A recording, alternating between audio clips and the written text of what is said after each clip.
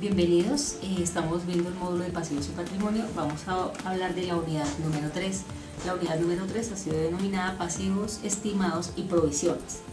Los pasivos estimados y provisiones nacen de la necesidad de prever otras obligaciones procedentes de los contratos sobre los que no se tiene un valor exacto para pagar esto se a eh, calcular sobre un valor aproximado del costo en el que se incurrirá o de otra manera con métodos de valor técnico reconocidos que permitan hacer un reconocimiento de esos valores que vamos a tener como provisión.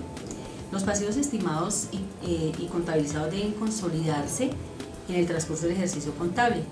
Es en el momento en que se reconocen los hechos hasta el momento en que se tenga certeza del valor real en el que vamos a incurrir en ese gasto, se hace esa provisión mes a mes y se cierra este, este corte de, provisión al cerrar el ejercicio fiscal. Dentro de las cuentas del plan único de cuentas contamos con el grupo 26 para las provisiones y allí hay varias subcuentas de las que se pueden ubicar los diferentes costos de la contabilidad. La contabilidad se ha introducido el término de provisión para registrar los pasivos como un estimado para determinar las obligaciones en que se incurre eh, el en que incurre el ente económico para poder desarrollar su objeto principal.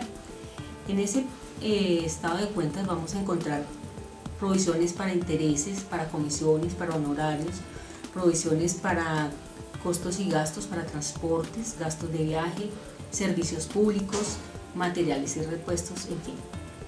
Para costos y gastos, entonces en esta cuenta encontramos todas las apropiaciones efectuadas por el ente económico con el, eh, desde el mismo momento en que contrae una obligación con cualquier empresa o con cualquier persona y esto se debe por la prestación de un servicio o por la compra de un bien.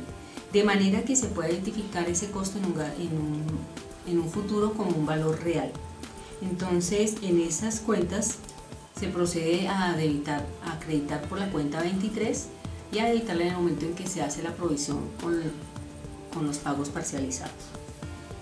En este contenido también vamos a hablar de las obligaciones laborales. Esta cuenta registra todas las apropiaciones efectuadas por el ente económico desde el mismo momento en que realiza una contratación laboral con cualquier persona.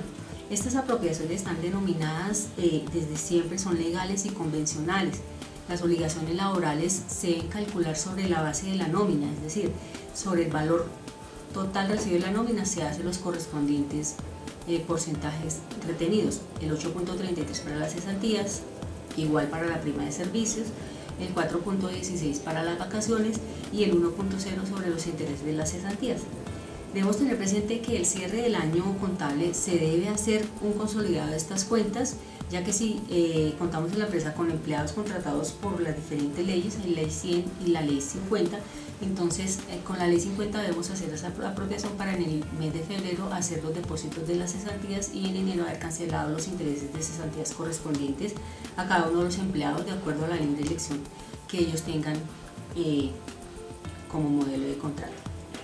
Vamos a encontrar también las obligaciones fiscales. En estas cuentas se registran todas las apropiaciones efectuadas por el ente económico para atender el pago de las obligaciones fiscales. Es decir, en estas están contempladas el impuesto de industria y comercio, el impuesto de vehículos, el impuesto de tasa de utilización de puertos y el de renta, que es el más importante.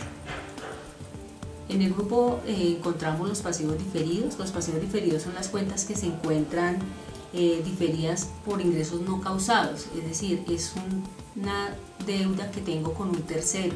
Un cliente mío me puede hacer un anticipo sobre una mercancía que yo le voy a, facturar o que le voy a entregar en un futuro. Ese dinero que he recibido lo llevo como un pasivo diferido porque finalmente voy haciendo el cruce de acuerdo a, los, a las facturas que vaya entregando y voy debitando esa cuenta de pasivos diferidos que corresponde a los valores, a los dineros registrados que me ingresan pero por otros terceros, con el compromiso de diferirlos en las facturas pendientes de pago. Encontramos los ingresos recibidos por anticipado, que es, son los ingresos por servicios, por comisiones, por arrendamientos. Eso también se hace cuando se hace el pago anticipado mientras se hace el activo diferido. Es decir, yo puedo recibir un arriendo eh, de tres meses anticipado y lo voy difiriendo cada mes en el momento en que se haga la causación. Los impuestos diferidos están conforme a las normas vigentes en la ley, se registra eh, el impuesto de renta y el tratamiento contable de los patrimonios de los ingresos, costos y gastos queda registrado en esta cuenta de los diferidos. Bienvenidos.